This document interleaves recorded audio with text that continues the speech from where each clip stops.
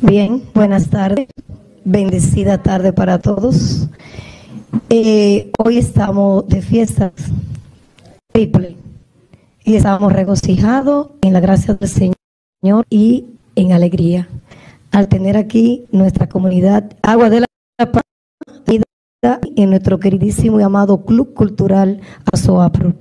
Sean todos bienvenidos y bienvenida a nuestra actividad de hoy, solemne, hermosa, que Dios nos bendiga.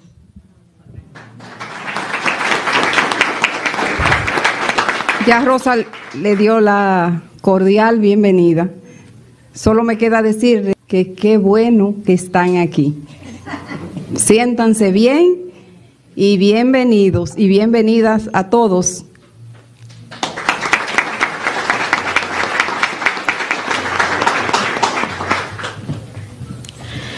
Agradecemos a Rosa Mercedes Abreu y también a Fiordalisa González por sus palabras de bienvenida. Señores, y siempre, siempre, y más en comunidades así, existen personas que son de la clase obrera, la clase campesina, que le da los buenos días a las 5 de la mañana al nuevo día que Dios nos regala.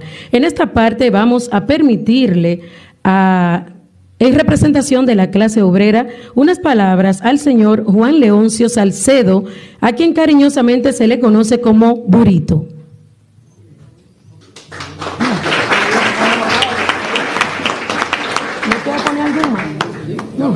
Okay. Bien, en ausencia de Burito, decimos la palabra. Aplauso para esos campesinos que desde las 5 de la mañana dicen buenos días. Y en esta puesta en circulación narramos su historia.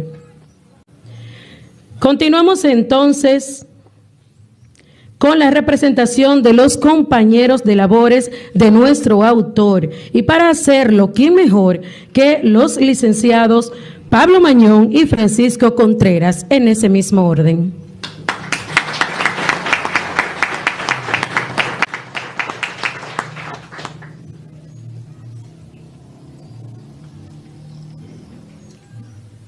Muy buenas tardes para todos.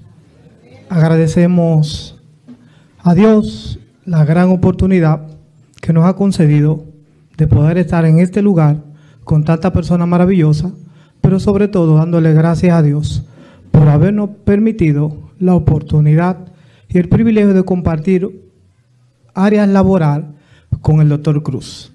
Créanme que para nosotros ha sido una experiencia sumamente enriquecedora y por eso nosotros una pequeña representación de lo que es, de lo que somos los compañeros de labores. Queremos decirle que nos sentimos gratamente agradecidos por la invitación que el doctor Cruz nos cursara para estar en esta tarde con ustedes. Brevemente voy a compartir dos segmentos bíblicos.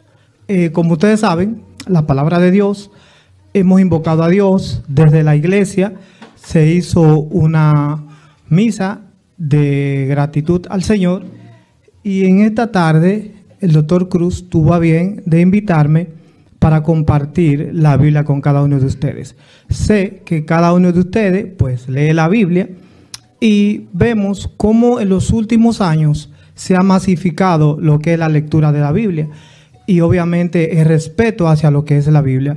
Voy a compartir lo que dice Proverbios 33, 11, 12, pero dice, bienaventurado, bienaventurada la nación cuyo Dios es Jehová el pueblo que Él escogió para sí, Él lo honrará. Miren, no hay una bienaventuranza mayor para ningún ser humano que servirle a Dios. No importa la esfera en que usted le sirva a Dios. Yo soy adventista del séptimo día. Me honro de tener una amistad con el doctor Cruz que profesa un credo diferente al mío. Pero eso no ha impedido que seamos buenos amigos. Eso no ha impedido que compartamos la palabra de Dios todos los días en nuestra área laboral. Y cuando vemos que la Biblia nos dice que es bienaventurada la nación cuyo Dios es Jehová, podemos estar seguros que es una nación bendita. Podemos estar seguros que es una nación en la cual Dios está con cada uno de nosotros. Esta nación ora, esta nación lee la Biblia y eso tiene sus resultados. año tras año nosotros vemos cómo se acerca una temporada ciclónica. Eso es clásico, obviamente, por la posición geográfica que tenemos.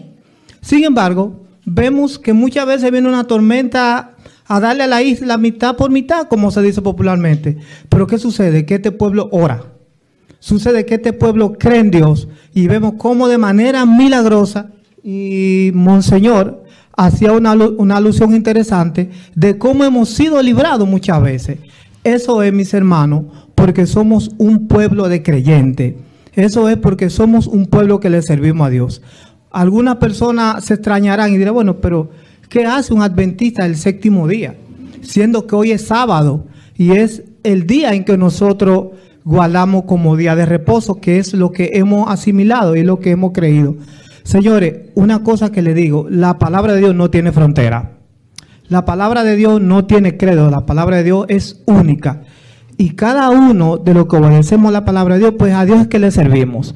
Entonces, ojalá que como nación continuemos sirviéndole a ese Dios. Ojalá que como nación cada día nosotros dediquemos tiempo para comunicarnos con Dios. Vemos cómo lamentablemente una catástrofe le sucede a otra. Todos le dimos la bienvenida al, al 2020, ¿verdad que sí? De manera jubilosa. Todos estábamos contentos, pero no sabíamos qué traía detrás el 2020. ¿Y qué nos trajo el 2020? nos trajo una pandemia que prácticamente nos postró a todos. Muchos seres queridos perdieron la vida, pero el Señor a nosotros nos ha permitido estar aquí en esta tarde.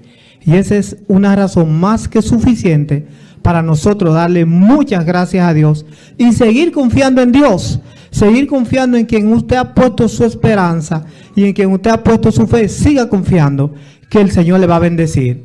Y finalmente quiero compartir eh, un texto que es conocido por todos nosotros y se encuentra en San Juan 8:32. Y dice, y conoceréis la verdad, y la verdad qué cosa, y la verdad os hará libre. Y podemos decir qué es la libertad y qué nos permite la libertad. Pues la libertad nos permite muchas cosas. En nuestro país fuimos víctimas, los que son más adultos, sabrán, fuimos víctimas de una dictadura. ¿La dictadura de quién? De Rafael Leonidas Trujillo las libertades estaban conculcadas, las libertades, no existían las libertades. Sin embargo, hoy somos una nación como libre, independiente y soberana. El conocimiento también nos hace libre. El conocimiento también nos da libertad.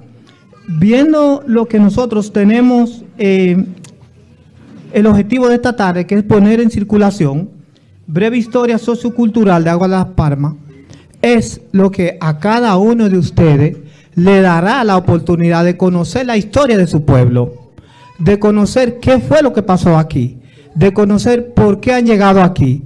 Y qué bueno es que un ciudadano preocupado por su pueblo ha decidido sacar tiempo y recursos para que ustedes puedan tener esta obra, a la cual yo les invito a leerla. Y qué bueno es cuando nosotros nos encontramos en cualquier lugar, y alguien nos pregunta algo de nuestro pueblo y nosotros podemos decir de manera orgullosa, no, mi pueblo se hace tal y tal cosa. ¿Por qué? Porque lo investigamos. Así que la invitación en esta tarde es a que podamos escudriñar y podamos saber de qué se trata esta obra para que muchas personas fuera de esta comarca puedan conocer qué es Agua de las Palmas. Así que el Señor le bendiga y puedan continuar hacia adelante. Muchas gracias y que el Señor le cuide siempre.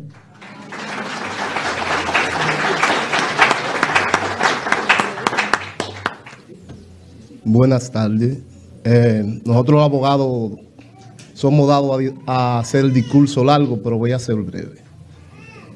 Eh, mi amigo y mi hermano Rafael Cruz, que lo considero así, tenemos seis años trabajando en el mismo departamento y ha sido un guía, un amigo incondicional y me ha ayudado en momentos difíciles siempre voy a estar agradecido de ti. Me siento orgulloso de esta obra y de, y de las demás obras, pero en especial esta, que es la que estamos poniendo en circulación. Y como yo me siento orgulloso de su amistad, yo espero que ustedes también se sientan orgullosos de tener un hijo de esta comunidad que se preocupa por ella y que quiere que personas como nosotros, que no somos de aquí, también conozcamos la historia de ustedes. Yo espero que también ustedes se sientan orgullosos de él. Muchas gracias.